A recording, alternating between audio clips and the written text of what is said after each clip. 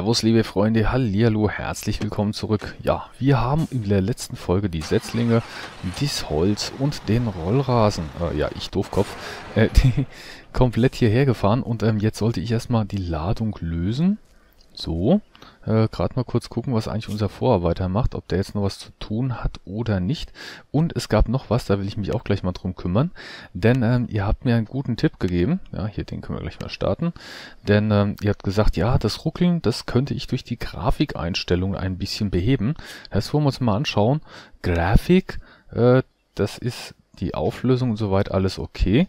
Grafikqualität sehr hoch, da gehen wir mal einfach nur auf hoch. Dann schauen wir mal, ob das eventuell ein bisschen besser für uns klappt. Wir gehen mal auf Übernehmen. So, schließen.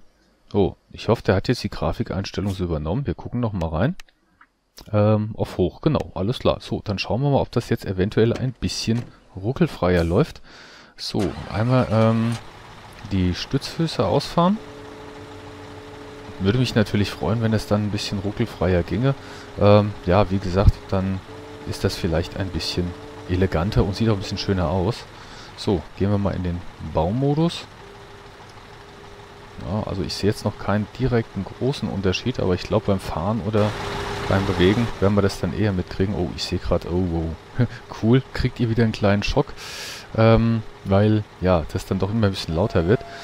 So, da schauen wir jetzt mal. Erstmal laden wir jetzt alles hier ab.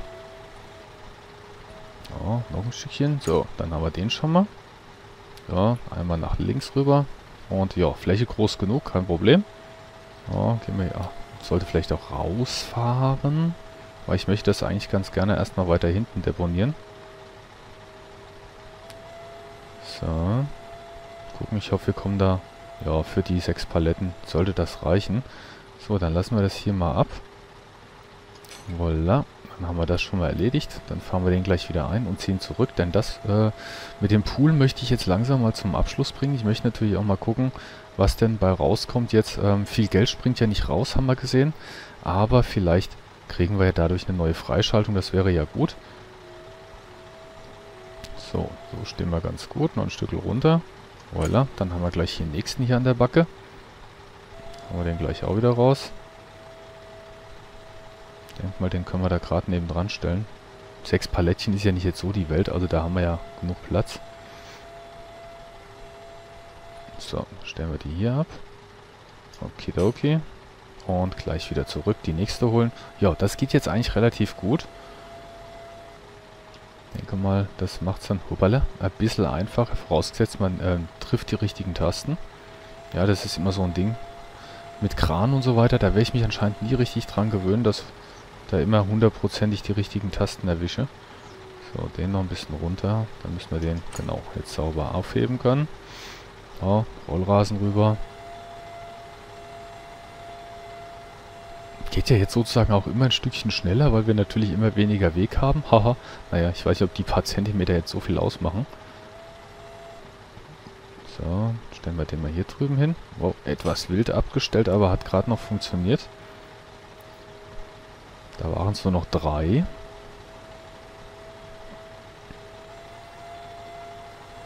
So. Hm, weiter rein kann man nicht. Das heißt, wir müssen hier wieder hoch und dann da runter. Genau, so. Oh, jetzt mit dem wollte ich doch gar nicht. Äh, versuche ich den mal... Ja, das habe ich mir gedacht. Äh, ich wollte den einfach vorsichtig da drüber heben und schon habe ich es umgekippt. Da bin ich jetzt mal gespannt, ob ich da gleich wieder drankomme. komme. War jetzt so eigentlich gar nicht geplant. So, einmal das Ganze hier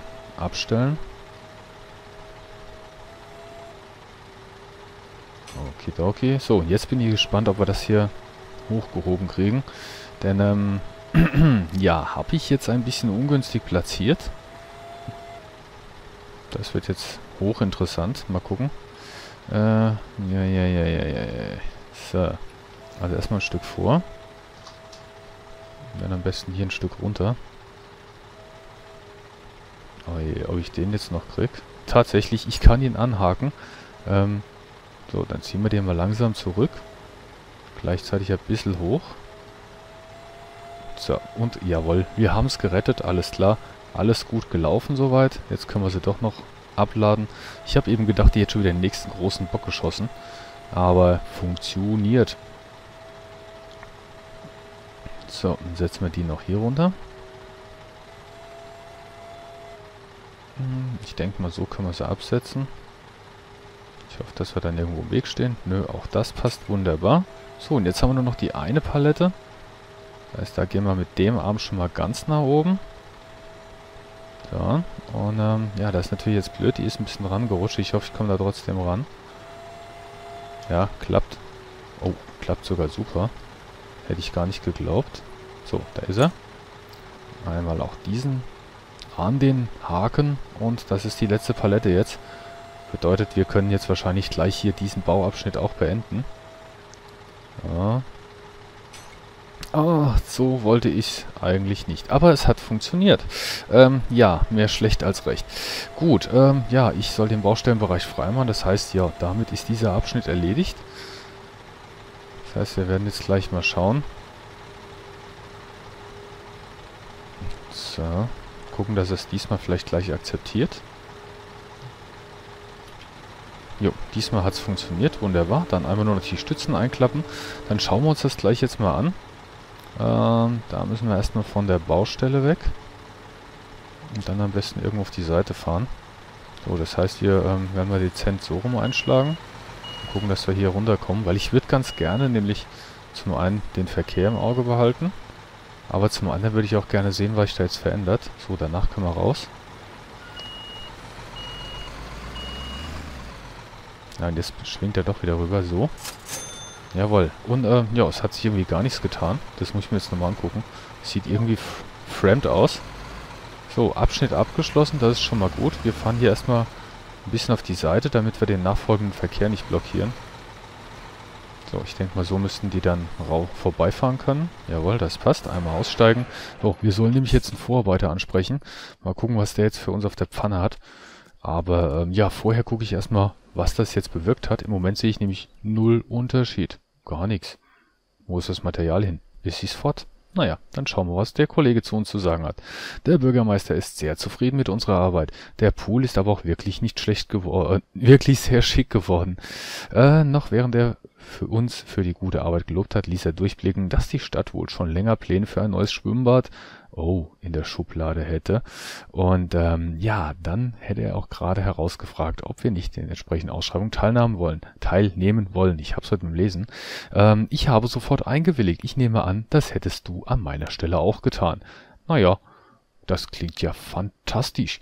Ja, das dachte ich mir auch. Ich bin mal gespannt, ob wir den Zuschlag bekommen. Garantiert bei unserem Glück. Ähm, ich drücke die Daumen. Bis es soweit ist, mache ich mal weiter. Melde dich, sobald du was Neues hörst. Ja, das ist schön. So. Damit haben wir den Auftrag erledigt. 126.000 Euro gab es. 5.000 Erfahrungspunkte. Das war natürlich sehr, sehr wichtig. So, und jetzt will ich mal gucken, wie der Pool aussieht. Wow.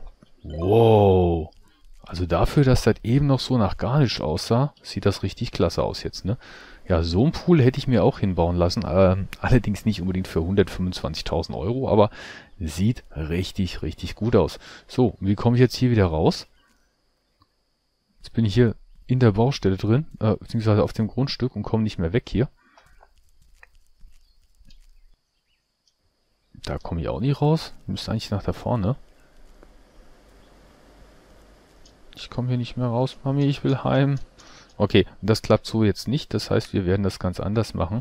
Ähm, wir werden einfach in den Pritschenwagen mit Kran einsteigen. Dadurch sind wir nämlich auch wieder draußen.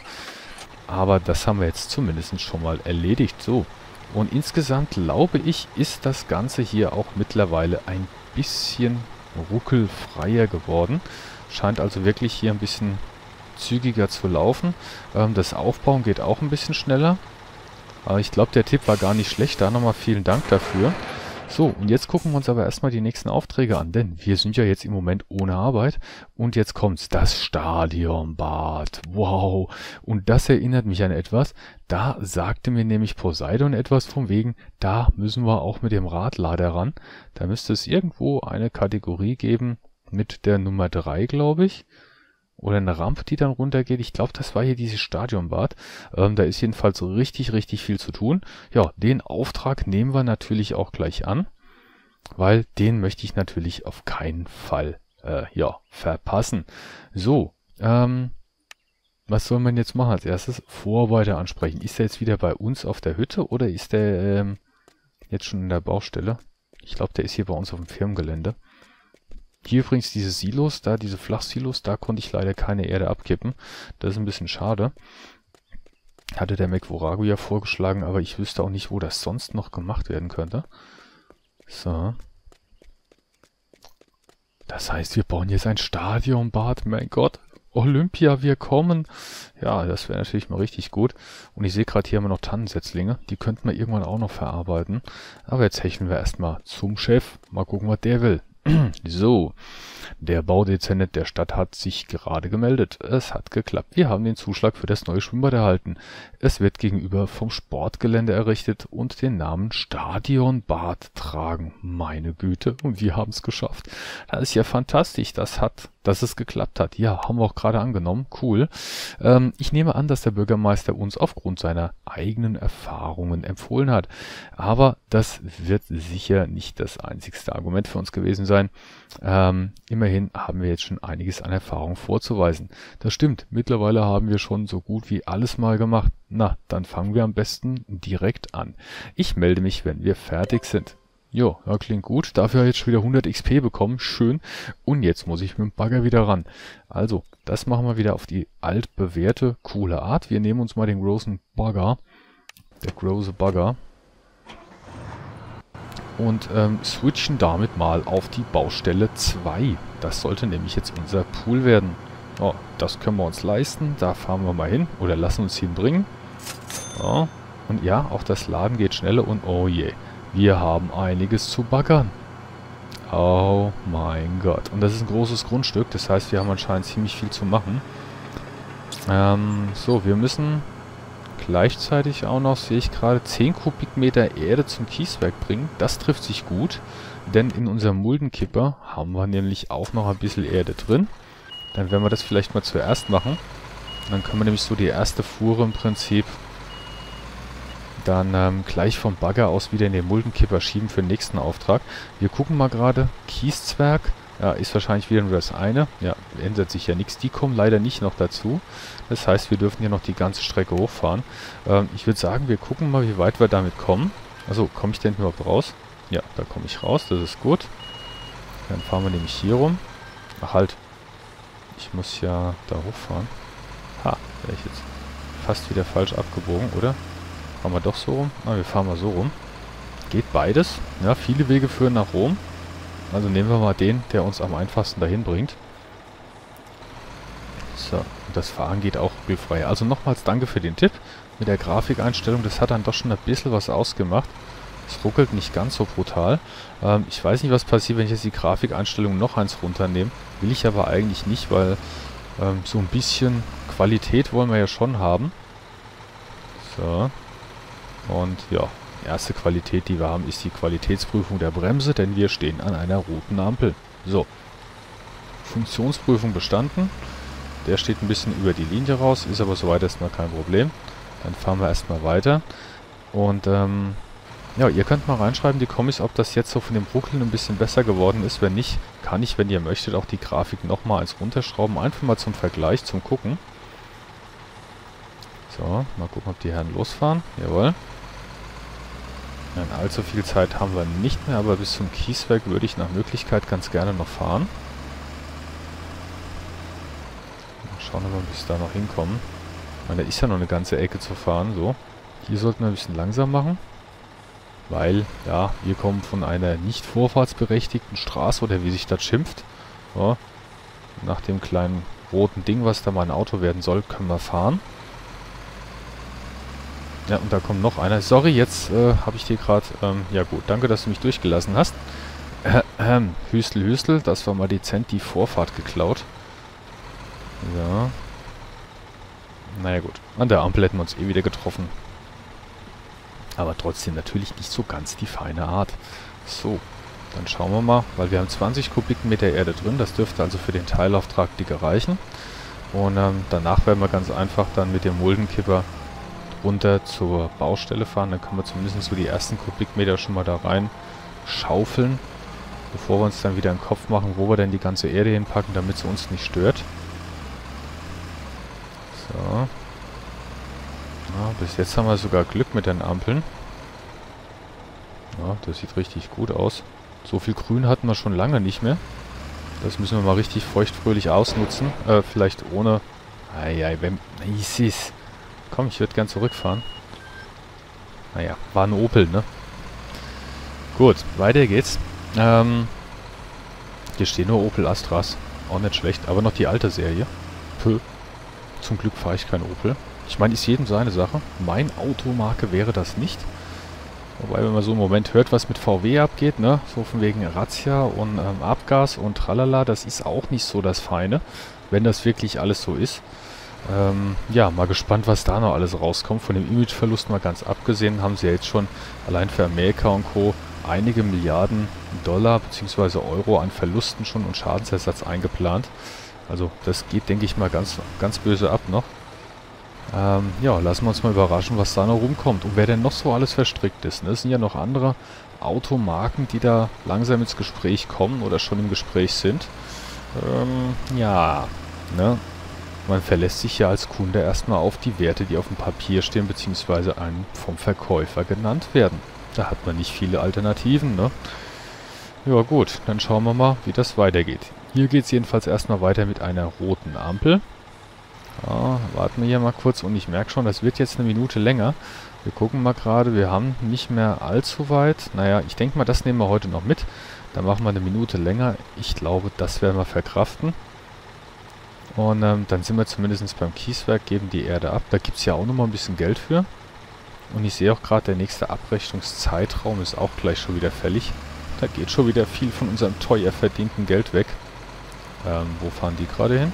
Also, die wollten die Spur noch wechseln. Auch in Ordnung. So. Na, wo willst du eigentlich hin? Weißt du es bald?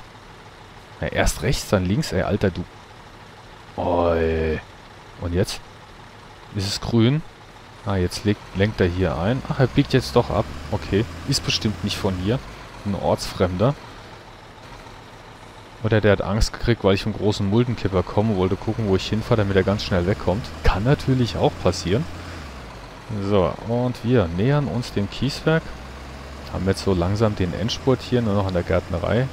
Vorbei wollte ich schon fast sagen, aber wir kommen hier von der anderen Seite.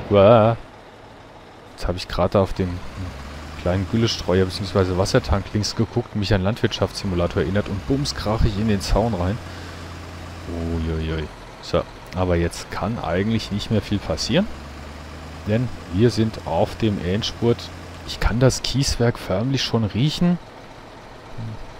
Ja, irgendwo da vorne müsste es jetzt eigentlich sein. Bald, demnächst, irgendwann. Und die nächsten Ecken. Hinter der Kurve. Hoffe ich. Ja. Ja. Wo ist denn das Freund Kieszwerg? Mein Gott. Die Strecke ist länger als befürchtet. Ich hatte die gar nicht so lange in Erinnerung.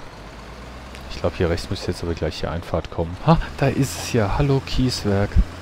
Wunderbar. Dann kriegen wir dich ja heute doch noch beschäftigt. so, denn das möchte ich wie gesagt heute noch machen. Hat nämlich den Vorteil, wir können uns dann beim nächsten Mal direkt zur Baustelle begeben und mit dem Buddeln anfangen. Ja, jetzt sehe ich gerade nicht viel. So, einmal auf die Waage. So, dann einmal hier nach links. Dann müssen wir das Ganze gleich abschütten. So, am besten gleich rückwärts hier in die Rampe ranfahren. So. Gut, noch einmal ran. Ups, ranrangieren. Die Mausempfindlichkeit ist geil. Wenn ich da ein bisschen drehe, geht es da gleich richtig böse ab. Da, das müsste gut hingauen. So, und einmal das Ganze noch abkippen, dann haben wir das nämlich auch weg. Mal gespannt, ab wann er die 10 Kubikmeter zählt. Ja, die monatliche Abrechnung ist durch. Oh, hier hat es genau funktioniert. Na, ziemlich genau. Aber jetzt kippen wir ruhig alles ab. Weil den Rest brauchen wir jetzt auch nicht. Wir kriegen gleich wieder neue Erde nach. So, das Ganze einmal bitte schließen. Und in Richtung Ausgang. Damit auch das noch gewertet wird. Ja, aber er lädt jetzt auch nicht mehr so lange nach. Das klappt auch. So, und den ersten Teilabschnitt haben wir fertig und 4000 Euro für ein bisschen Erde bekommen. Und in diesem Sinn sage ich für heute Danke fürs Zuschauen. Bis zur nächsten Folge. Servus.